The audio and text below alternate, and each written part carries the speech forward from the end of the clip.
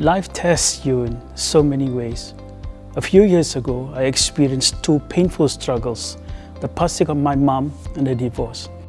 However, these obstacles did not stop me from pursuing a degree, even at the age of 40.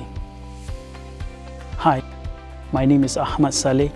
I am a UON IT alumnus, and this is how I overcame my challenges in pursuit of a lifelong learning. I consider myself a late bloomer. In fact, I did not follow the normal academic pathway to complete my formal school education, unlike what my peers did. I was already 22 when I realized that education plays a huge part in my career and life in general. That's when I began pursuing a higher education. With the recommendation from my friends, I enrolled for the Bachelor of Information Technology at the University of Newcastle, Australia at PSB Academy in 2008 when I was 40 years old. Just when I thought this experience was going to be a smooth sailing, I had to take a leave of absence twice because of a divorce in 2009 and the passing of my mother in 2013. Even when I was studying, it was hard to cope.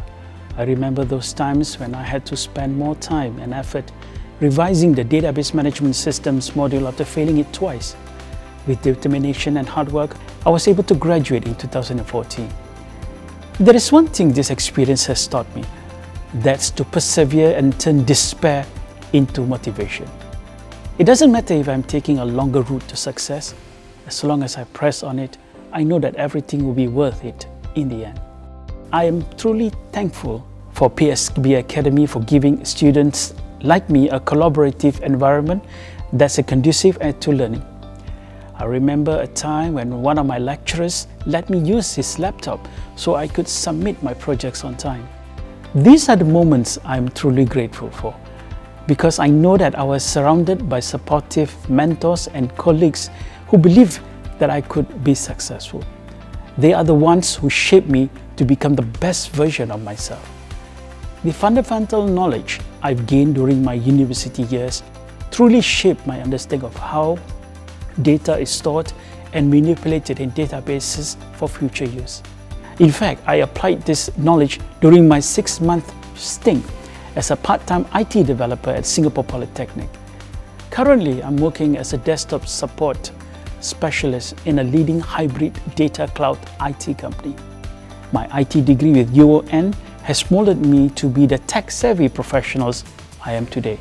I am proud of who I have become and for the technical expertise I now share with those around me. Having a private degree did not put me in a disadvantage in my career. In fact, I felt that the education I received was comparable to public institutions.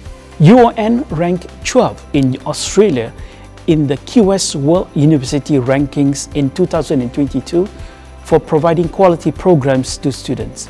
I took up the same degree given to those who studied in the Australia campus. To me, this was the assurance that I will be ready to take on new challenges in the future. Be humble. True grit means turning your adversities into lifelong opportunities. Go out, explore the world, and don't stop learning.